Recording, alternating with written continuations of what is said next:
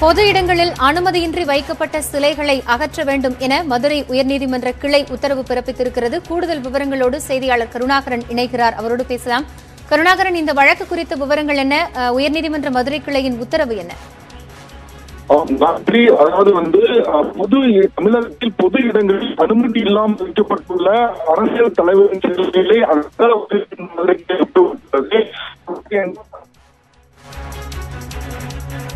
பொது இடங்களில் அனுமதியின்றி வைக்கப்பட்ட சிலைகளை அகற்ற வேண்டும் என்று பொதுநல மனு தொ- தொடுக்கப்பட்டிருந்த வழக்கில் தற்போது உயர்நீதிமன்ற மதுரை கிளை உத்தரவு பிறப்பித்திருக்கிறது. சிலைகளை அகற்ற கோரி தஞ்சையைச் சேர்ந்த வைரசேகர் என்பவர் பொதுநல மனு தாக்கல் செய்திருந்தார்.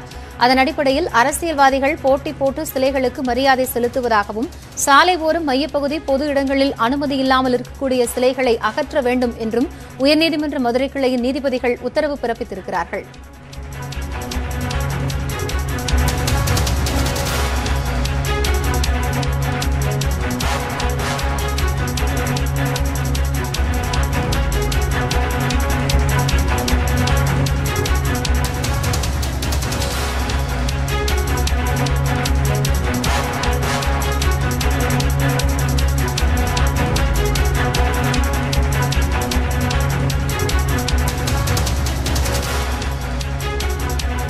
செய்தியாளர் கருணாகரன் மீண்டும் இணைப்பில் வந்திருக்கிறார். அவரிடம் பேசலாம். கருணாகரன் இப்ப இந்த வழக்கு குறித்து சொல்லிட்டு இருந்தீங்க தொடரலாம். ஆம் காயத்ரி அதாவது வந்து சாலை ஓரங்கள் சாலை அல்லது பொது இடங்களில் அனுமதி இல்லாமல் அஹ், வைக்கப்பட்டுள்ள அனுமதி இல்லாமல் வைக்கப்பட்டுள்ள அரசு தலைவர்களின் சிலைகளை அகற்ற உயர்நீதிமன்ற மதுரை உத்தரவிட்டுள்ளது. என்றால் உத்தரவுப்படி தமிழகத்தில் உள்ள சாலை ஓரங்கள் மற்றும் இடங்களில் பொது இடங்களில் அனுமதியற்ற வைக்கப்பட்டுள்ள சிலைகளை அகற்ற உடனடியாக உத்தரவிட்டுள்ளது.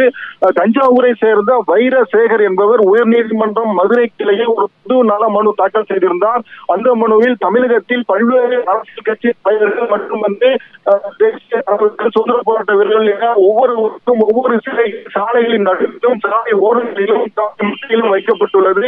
இவர்களது பல்வேறு அரசு கட்சிகள் அறிவிப்பதாக கூறி போக்குவரத்துக்கு இடைஞ்சலாக ஏற்படுகின்றனர். மேலும் வந்து இதனால் சட்டம் சமுதாய பிரச்சனை ஏற்படுகிறது. எனவே தமிழகத்தில் தமிழகத்தில் போக்குவரத்துக்கு இடைஞ்சலாகவும் சமூக நல்லிணக்கத்திற்கு இடைஞ்சலாகவும் உள்ள அனுமதி இல்லாமல் சிலை. நன்றி கருணாகரன் இது குறித்த தற்போதைய தகவல்களை வழங்கியமைக்காக